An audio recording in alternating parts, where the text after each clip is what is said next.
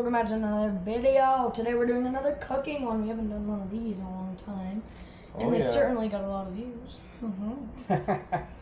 yeah, so last time I think we did a pizza, we used the Nerd Chef Pizza Steel. yes, we are reviewing. Now, this time we're gonna Yeah. try to try to do something that's a little bit more healthy, I guess.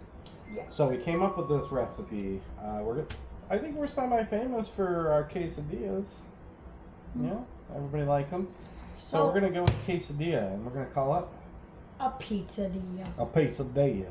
Wait, what is a you ask? Well, just think of pizza and think of a quesadilla. Pizzadilla. Smack together. Smack- So, all right, we're gonna go through some real quick stuff here. First, sauce. Sauce is a pain in the ass because it never comes in a small enough package. So what we did, and it kind of looks, honestly, it kind of looks like uh, orangish, but it really tastes good. It tastes like actual pizza sauce. We used freeze-dried tomatoes. That way, we can grab whatever portion we want for whatever we want to do, reconstitute it, add our stuff to it, blend it up a little bit, and there's that. So the other piece that we're doing here is we're going to add pepperoni. And I think a real good trick is going to be to crisp up the pepperoni in the microwave. crispy. Um, so it kind of tastes that hard. tastes like that burnt pepperoni flavor that you would get out of uh, out of an oven or on a regular pizza. Okay. Also, the other cool thing is when you put it in the microwave, use a paper towel. All the fat, or most of the fat, ends up on the paper towel and not in your belly. Wow. Got to count for something.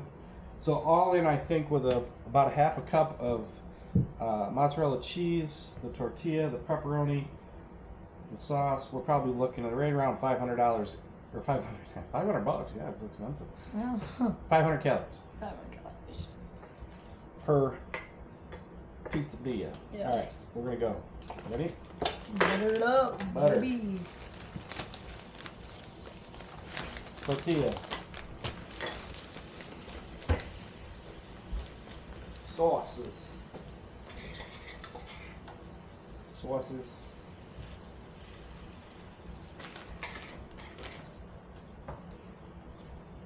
See?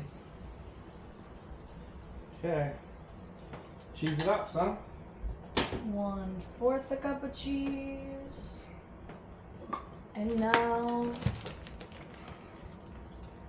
a half cup of cheese. Yeah. Yes. All right.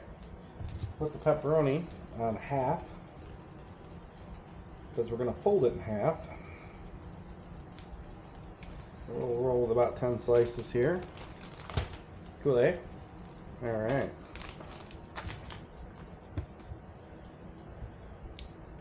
Got this baby cooking at about 300. We're going to cook it until it's nice and brown. So what have you been doing today, buddy? Not much. Why are you eating all that cheese? I'm hungry. Hmm. We had about 13 inches of snow. First big snowstorm of the year today. Mhm. That was fun. Mhm. Went out plowing and breaking plows and Yeah, that was fun. yeah, that's been super fun. I- I'm glad. I'm glad we messed around with our side by side before you put the plow on.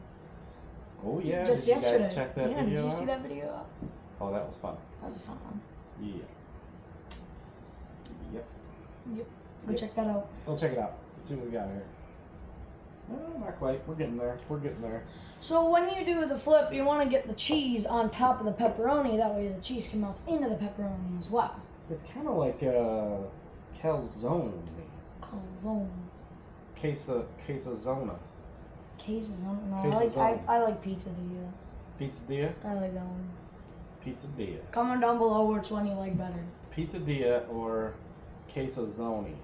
Quesazoni or pizzadilla? Comment down below. Or calzonadilla.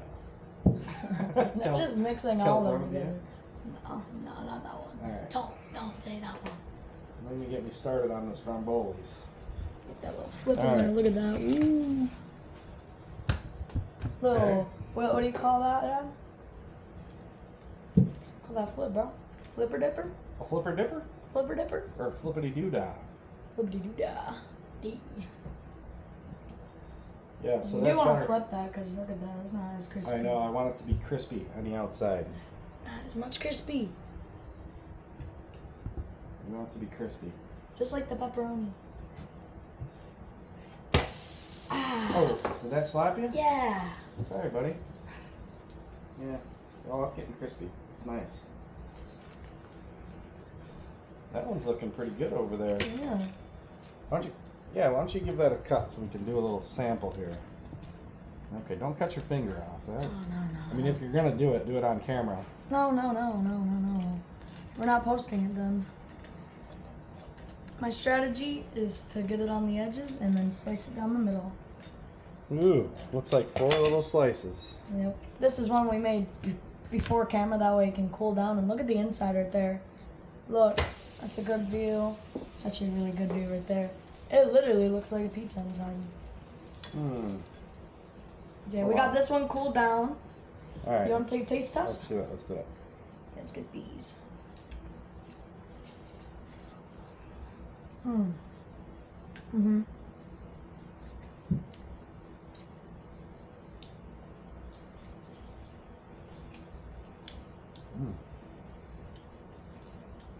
That definitely hits my pizza craving. Hundred percent. Mm-hmm. The best part about this, it's completely scalable. And if you wanted to just make one pizzadilla, you make one. Measure your cheese, 10 pieces of pepperoni, a little bit of your own uh, tomatoes, I freeze really, dried. I really like that sauce. I haven't tried it yet. I know you have, but That's pretty killer, man. that sauce with the pepperoni. And the cheese is on a whole nother level, but let's just talk about that sauce and pepperoni, pepperoni together. That's awesome. Anyway, there you go. Pizzadilla, Pizzeria? zoni. I don't know. Figure it out. I'll put the recipe below. Try it out. Give us a comment. See what you like. Yeah.